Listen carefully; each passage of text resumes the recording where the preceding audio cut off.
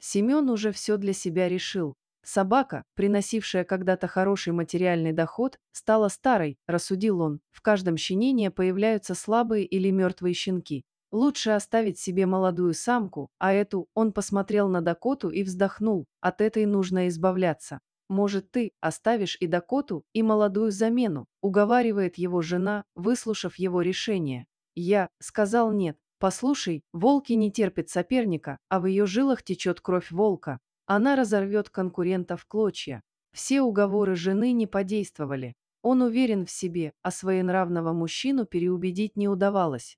Дакота регулярно приносила потомство, а также была первым помощником Семена на охоте. Но он окончательно намерен от нее избавиться. Совсем недавно, в очередной раз она ощенилась. Малыши очаровательны. Когда-то мать Дакоты, овчарка Альфа, погуляла с волком. Как это произошло, никто не знал. Но с тех пор волчьи гены всегда доминировали в этом потомстве. Щенки пользовались популярностью, платили не торгуясь. Чтобы купить крошечный комочек безродословной, люди записывались в очередь за год. Помесь овчарки и волка – особенная порода, особые способности. Собаки прекрасно подаются дрессировке, незаменимы на охоте, выслеживают и загоняют дичь. А еще они очень преданы. Единожды признав хозяина, никогда не предадут и не подведут. Рано утром, на следующий день, хозяин позвал к себе собаку. Ну а та радостно завиляла хвостом и, преданно заглянув ему в глаза, уселась у его ног. Обычно в это время они ходили на охоту. Дакота выслеживала дичь и поднимала ее с места, а охотник тут уже сбивал ее метким выстрелом. Только, на этот раз, ружья почему-то не было, Непонятно, но собака привыкла безоговорочно доверять своему человеку. Дакота бежит рядом с мужчиной то и дело, стараясь потереться об его ногу, выказывая свою любовь и преданность. Однако он не отвечает на ее ласки. Сегодня хозяин особенно молчалив и суров. Она это чувствует.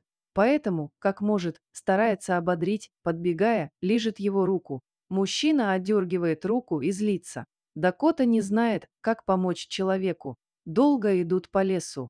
Дакота удивлена, что хозяин до сих пор не дает ей команду идти по следу, ведь они уже достаточно углубились в лесную чащу. Вокруг немало запахов зверья. Она отчетливо понимает, где каждый из них прячется. Только одно его слово и добыча у его ног. Но вместо этого человек подозвал собаку к себе и прицепил веревку к ошейнику. Дакота растерянно смотрит.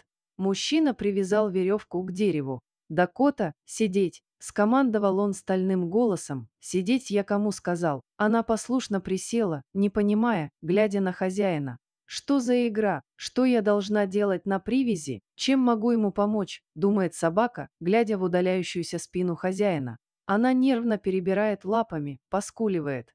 Беспокоится, а вдруг она не успеет прийти на помощь. Не сможет оказаться рядом, если ему будет угрожать опасность.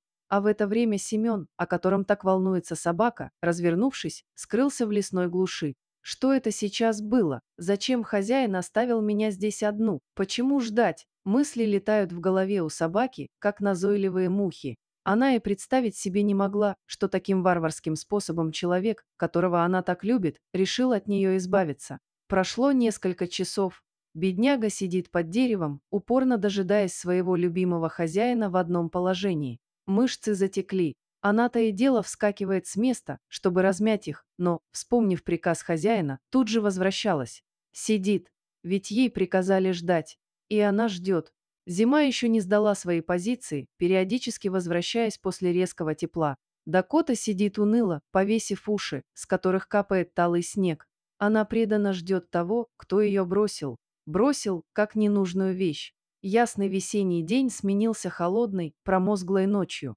Дакота вдруг поняла, а главное приняла, что больше никому не нужна.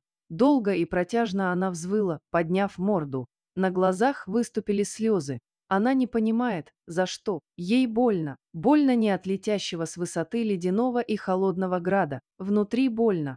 На сердце больно. Промокшая собака, свернувшись калачиком, старается хоть как-то согреться. Утром животное чувствует острую резь в желудке, вспоминает, что голодное. Она сутки совершенно ничего не ела и не пила. Молочные железы ломит от скопившегося в них молока. Собачка с грустью думает о своих малышах, как там они. Пусть они уже достаточно большие, чтобы питаться самостоятельно, но без материнского молока им непривычно. Она встряхивает головой, сбрасывая брызги и отгоняя от себя мысли о своей прошлой жизни. Теперь у нее нет хозяина, нет дома, нет щенков и нет ничего. Она одна. Наступил новый день и новая жизнь.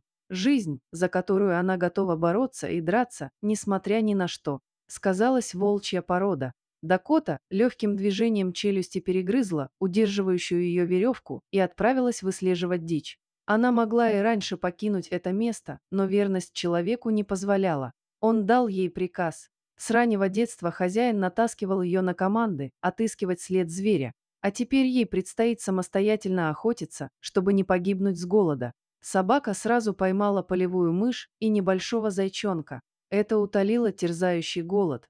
Теперь она исследует новую территорию, где ей предстоит жить.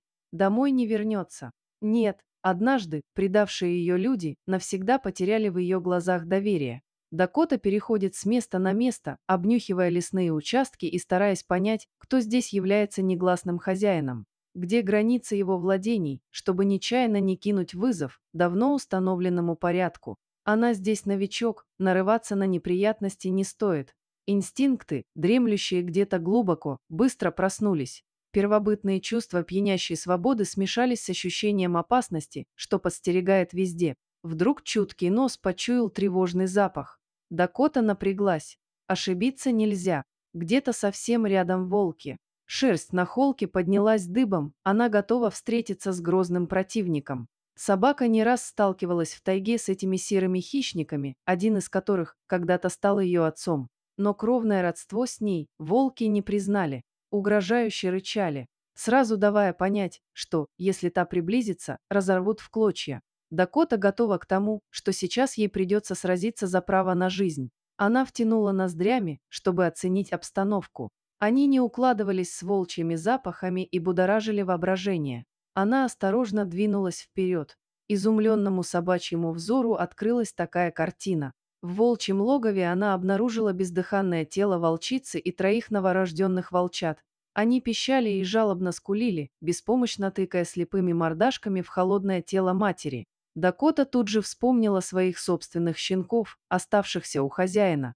Сердце защемило от тоски и несправедливости. Она, не раздумывая, кинулась к новорожденным малышам. Принялась их обнюхивать и облизывать. А те совсем беспомощные и слабые, обнаружив соски с молоком, тут же вцепились, посчитав ее матерью. Шло время. Дакота нашла новое логово для щенков, чтобы не делить его с умершей волчицей. Приемные волчата быстро росли, а заботливая мама учила их навыкам выживания и охоты.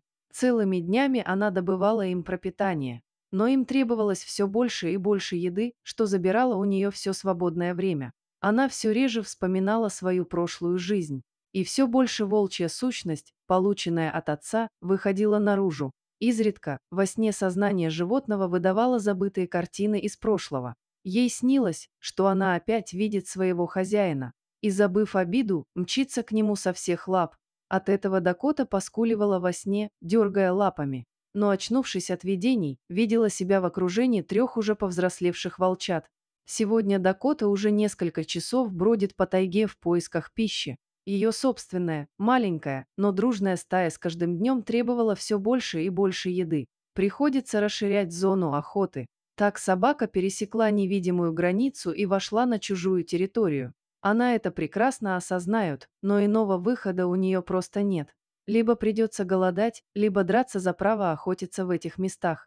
Хозяин территории ее обнаружил и скоро объявился. Внезапно ей преградил путь крупный серый волк. Он недружелюбно оскалил клыки, демонстрируя незваной гости, что ей лучше убраться из его владений. Он не ожидал, что теперь перед ним не дворовая псина Дакота, а свирепая лесная хищница, добывающая пропитание для своих детей и готовая ради них с кем угодно сразиться. Моментально шерсть на загривке волка встала дыбом. Прыжок. Они вцепились друг в друга. Но в этот раз все пошло не так. Рядом с ее противником, бросившим ей вызов, появились еще два волка. Они стая.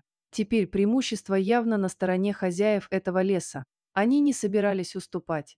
Еще мгновение, и волчья стая накинулась на одинокую собаку. Возникла реальная угроза стать разорванной на части. Как бы отчаянно ни билась в этой схватке Дакота, у нее не было шанса выйти победителем. Схватив серого вожака, она повалила его на землю, пытаясь разорвать тому горло. Но в это же время две безжалостные пасти накинулись на нее сверху. Схватили за загривок, стараясь повалить и разобрать ее на части. Дакота чувствует, как быстро силы вытекают из раненого тела. Она поняла, что сейчас ее жизнь закончится. Но тут на помощь своей приемной матери из леса выскочило трое повзрослевших волков. Это для мамы они оставались детьми, но в действительности вымахали в крепких хищников. Молодые волки сходу сбили напавших на их мать и продолжили их рвать.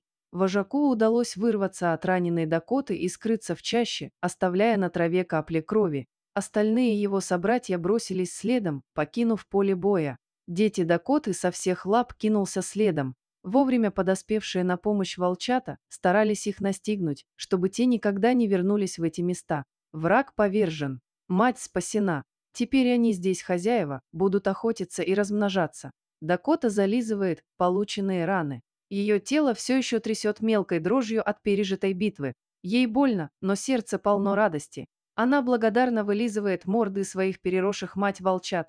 Она счастлива, что на ее защиту так отчаянно бросились те, в кого она вложила столько любви и заботы. Те, кому может доверить свою жизнь. Волки смогли оценить преданность и любовь собаки, отплатили ей благодарностью. Жаль, что людям это оказалось не под силу.